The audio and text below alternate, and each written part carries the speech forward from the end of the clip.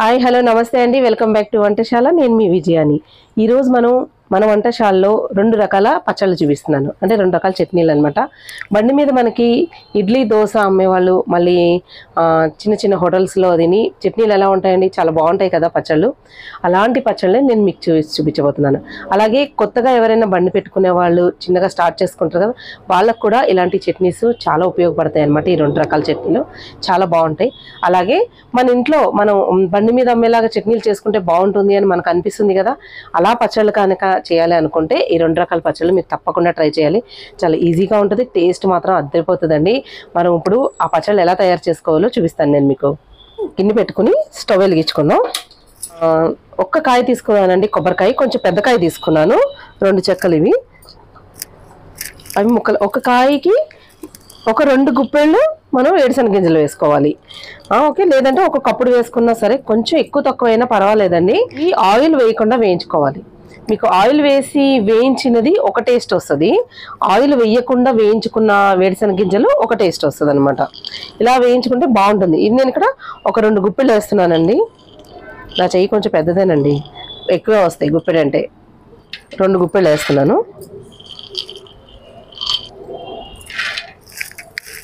ఇవి మీడియం ఫ్లేమ్లో పెట్టుకుని వేయించుకోవాలి వీటిని.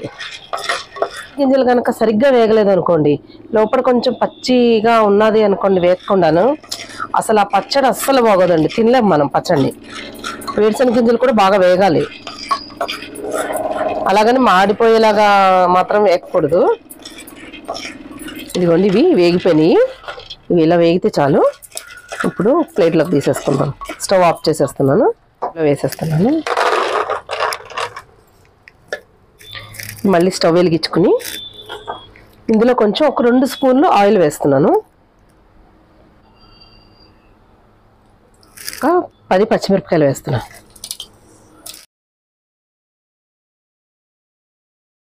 ఇదిగోండి కొబ్బరి ముక్కలు కూడా ఇవి కొంచెం వేగాక వేస్తున్నాను.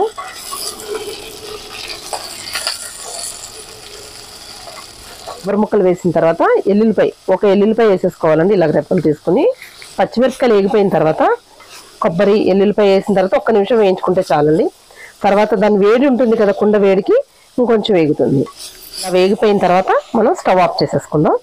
నేను స్టవ్ ఆఫ్ చేస్తానండి. ఇందులో ఇప్పుడు కొండ అల్లం వేస్తున్నాను చిన్న ముక్కలుగా కట్ చేసి. ఇదిగోండి ఒక ఉల్లిపాయ వేస్తున్నాను. ఇదిగోండి చింతపండు వేస్తున్నాను చూడండి. ఎంత వేయాలి కొద్దిగా వేసుకోవాలి చింతపండు. అస్సలు పులుపు లేకుండా ఉండడం కోసం కొంచెం చింతపండు వేసుకోవాలంతే. మరీ ఎక్కువ వేసుకోకూడదు.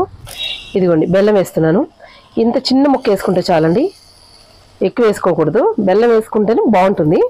నేను ఉప్పు వేస్తున్నాను. ఇవన్నీ కలిపేసుకోవాలి ఇలాగా. ఇదిగోండి పల్లీలు వేయించి పెట్టి ఇవన్నీ రెడీ అయిపోయింది కదా. పల్లీలు వేయించి పెట్టుకున్నాం కదా. కొద్దిగా పట్టు తీసుకోవాలండి. పట్టు తీసుకోకపోయినా పర్వాలేదు. మామూలుగా హోటల్స్లో దీన్ని చేసినప్పుడు ఏం చేస్తారంటే కొంచెం పట్టు తీస్తారు.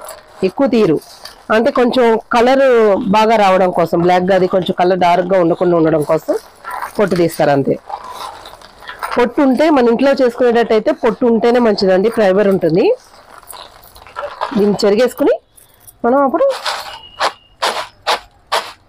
మిగతా గింజలు వేసేసుకుందాం ఇందులో. ఇందులో వేసేస్తున్నానండి. ఇదిగోండి ఇవన్నీ. ఇందులోకి తీసేసుకొని రుబ్బేసుకుందాం మనం. ఇందులో కొబ్బరి పల్లీలు పచ్చిమిరపకాయలు ఎల్లుల్లిపాయ కొంచెం బెల్లం కొద్దిగా చింతపండు ఉప్పు ఇవన్నీ వేసుకున్నామండి. కొంచెం అల్లం ముక్క కూడా వేసాను ఇవన్నీ వేసుకున్నాం కదా ఇందులో కొంచెం వాటర్ యాడ్ చేసుకుంటూ రుబ్బుకోవాలి. అయితే ఇది పక్కన పెట్టుకున్నాం ఇది మా రేణుకిచ్చి రుబ్బు రుబ్బి పెట్టమంటాను. ఈ లోపల ఇంకో చట్నీకి మీకు నేను రెడ్ చట్నీకి చూపిస్తాను. ఇది కొంచెం వేడైన తర్వాత ఇందులో కొంచెం ఆయిల్ వేసుకుందాం అండి. ఆయిల్ వేస్తున్నాను. చిన్న గ్లాసు శనగపప్పు వేస్తున్నాను నేను. ఈ శనగపప్పు కొంచెం వేగాలండి. వేగిన తర్వాత పల్లీలు వేసుకుందాం. ఇదిగోండి ఇలా శనగపప్పు కొంచెం వేగిన తర్వాత ఒక గ్లాస్ పల్లి వేస్తాను. ఏ గ్లాస్తో అయితే శనగపప్పు వేసానో అదే గ్లాస్తో పల్లీలు వేస్తున్నాను.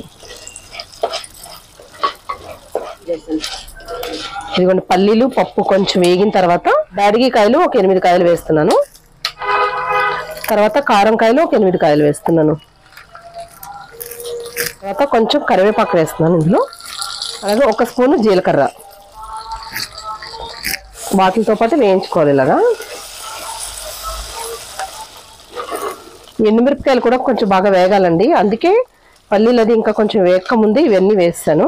మీకు కావాలంటే విడిగానే వేయించుకోండి. ఫస్ట్ ఎండుమిరపకాయలు ఇవన్నీ వేయించుకుని తీసుకున్నాక కూడా మీరు పల్లీలు అవి వేయించుకోవచ్చు. నేనైతే అన్ని ఇలాగే కలిపి వేయించేస్తాను అనమాట ఇక కొంచెం ఎండుమిరపకాయలు కూడా వేగిపోయినాయి కదా ఇందులో కొంచెం అల్లం ముక్క వేస్తున్నాను. అలాగే ఎల్లుల్లిపాయ ఒక ఎల్లుల్లిపాయ రెబ్బలన్నీ వేస్తున్నా. దాంతో పాటే టమాటాలు ఒక నాలుగు టమాటాలు కట్ చేస్తానండి.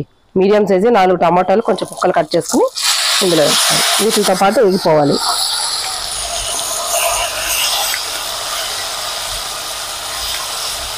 ఇవన్నీ టమాటాలు వేస్తాం కదా. అమ్మ దగ్గర నేర్చుకున్న పచ్చడి అనమాట శనగపప్పు టమాటా పచ్చడి. అయితే అమ్మ పల్లీలు వేసేది కదా వేరుశెనగ గింజలు. మేము ఇందులో పల్లీలు యాడ్ చేసి మళ్ళీ స్టార్ట్ చేస్తామన్నమాట అనమాట పల్లీలు కూడా వేస్తాను.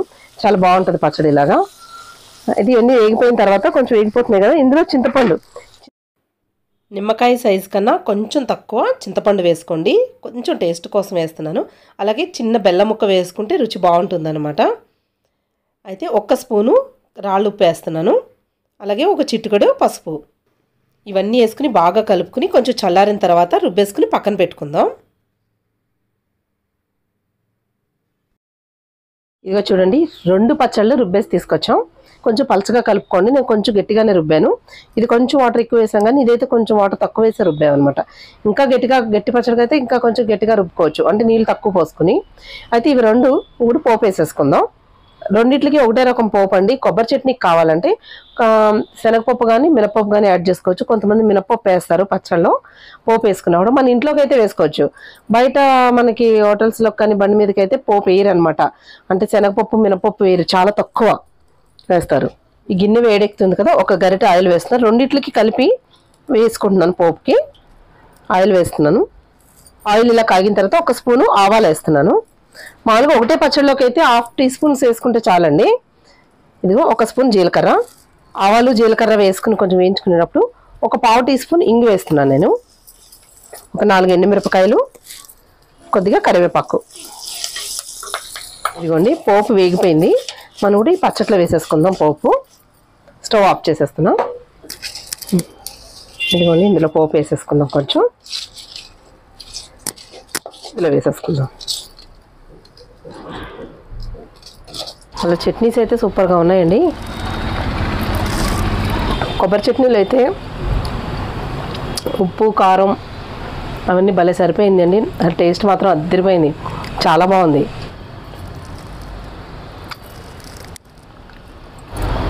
ఈ చట్నీ కూడా బాగుందండి. ఉప్పు అది సరిపోయింది పులుపు అని కానీ కారం తక్కువైంది కొంచెం.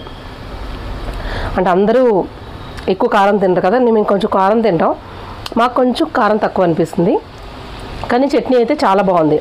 కొబ్బరి చట్నీ అయితే ఇంకా అసలు చెప్పనవసరం లేదు. చాలా టేస్టీగా ఉంది. మాకు ఇందులో కొంచెం కారం తక్కువ అనిపిస్తుంది. మీ కారం ఎక్కువ తినేటట్టయితే కొంచెం కారం ఎక్కువ వేసుకోండి. చట్నీలు కాంబినేషన్కి ఇడ్లీ కానీ దోశ కానీ చేసుకోవాలి కదా. మరి ఏం చేద్దాం? దోశ వేసుకుందాం. అయితే దోశ వీడియో ఇప్పుడు కాదండి. నెక్స్ట్ వచ్చే వీడియోలో దోశ మీకు ఎలా తయారు చేయాలో చూపించబోతున్నాను. దోశలు వేయడం చాలా మందికి వచ్చండి. కానీ నేను చూపించే దోశ కొంచెం డిఫరెంట్గా ఉంటుంది. తక్కువ బడ్జెట్లో అతి తక్కువ బడ్జెట్లో ఎక్కువ దోశలు ఎలా వేసుకోవాలి సాఫ్ట్గా ఎలా రావాలి అనేసి నేను మీకు చూపించబోతున్నాను. అలాగే చిన్న చిన్న బండి మీద కానీ హోటల్స్ కానీ పెట్టుకున్న వాళ్ళకి చాలా ఉపయోగపడుతుందండి ఈ దోశలు కూడాను. మరి ఇంకెందుకు ఆలస్యం నెక్స్ట్ వీడియో కూడా రెడీగా ఉండండి. మా ఛానల్ని సబ్స్క్రైబ్ చేసుకోండి లైక్ చేయండి మీ ఫ్రెండ్స్ అందరికీ షేర్ చేయండి.